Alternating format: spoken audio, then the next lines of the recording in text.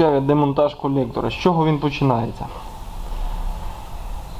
А, для чого потрібний демонтаж в першу чергу? Для того, щоб засверлитися під подачу газу під дюзи.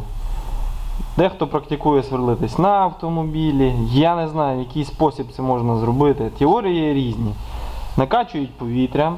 Для тих, хто накачують повітрям, я можу дати просту відповідь, що здує сальники клапанів, якщо вони злегка присохли. Що стосується тиску в. Другий варіант. Другий варіант це завести автомобіль, я таки чув. Теж цікаво. Заведений автомобіль, сипеться стружка, що з нею має бути незрозуміло, згоріла зразу, поплавилась. Ну може і так.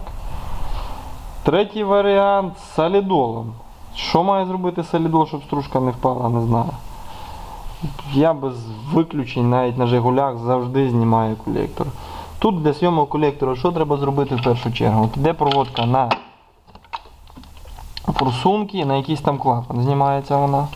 Проводка на катушки знята. Оце що стосується проводка зі всіх датчиків. Тут 1, 2, 3, 4 роз'єми. І пішло десь на генератор, той не трогає.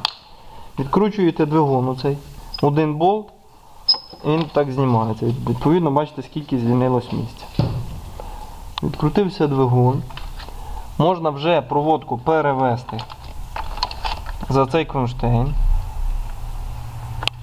А, перед тим як відкрутити двигун, ще отут такі на колекторі штуки знімаються. Вони для чого потрібні? Коли двигун заводиться на холодну, задувається повітря, чиста доза повітря в випускний колектор.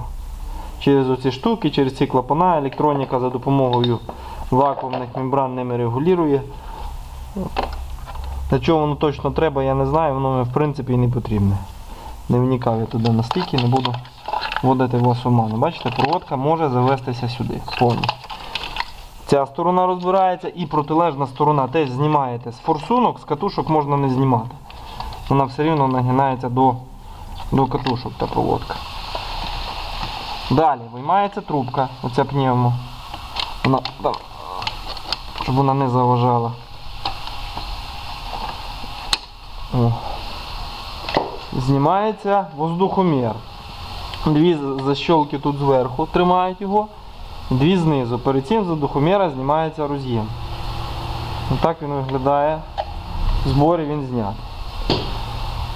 Далі, я думаю, що треба буде все-таки зняти бензинову рампу. Спочатку відкручуємо на бензиновій рампі подачу бензина. От вона. Вона тут без обратки.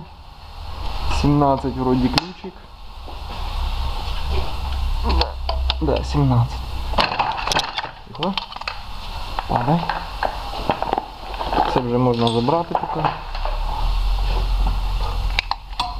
Подача бензину. До речі, тут бачите, як подача бензину в одну рампу зроблена і переходить на іншу. В Lexus так само зроблено. В Subaru подача бензина симетрична по відношенню до всіх форсунок, а там їх всього всього 4. Я не знаю, от там заходить бензин між от 4 форсунки, між двома рампами і розходиться між двома форсунками. Вони навіть врахували цей момент, що має бути рівномірна подача. Тут такого не врахували. Бензин виливається з рампи, але без того не обійдеться. Відкручуємо бензинову рампу. Розйоми вже всі зняті, прикручувана вона єшками.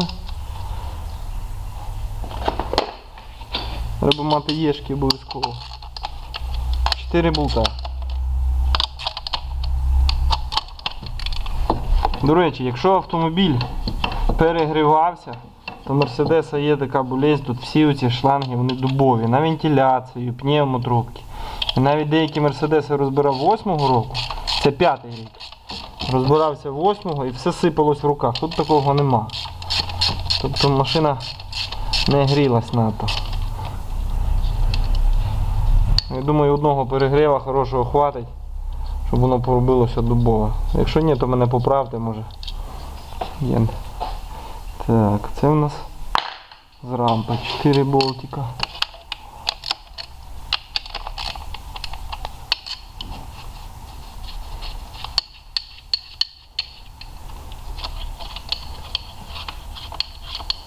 Попередньо знялась проводка з дросільної заслонки. Вона там так на ощупь я її знімав, але вже як я зніму колектор, то я вам покажу, як воно там устроєно, щоб як будете знімати, не зламати. Ці пневмотрубочки. Теж треба їх підважити і зняти. Бажано спеціальним прибором, у мене його нема. Ідуть. Да, вони не так добре присохло. Їх тако розшевелити треба, щоб вони відстали від колектора. Ось я вже сипеться сажа з них. Ну, через речах отак. Да.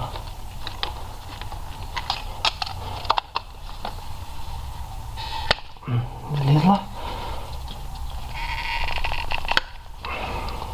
Ця ні.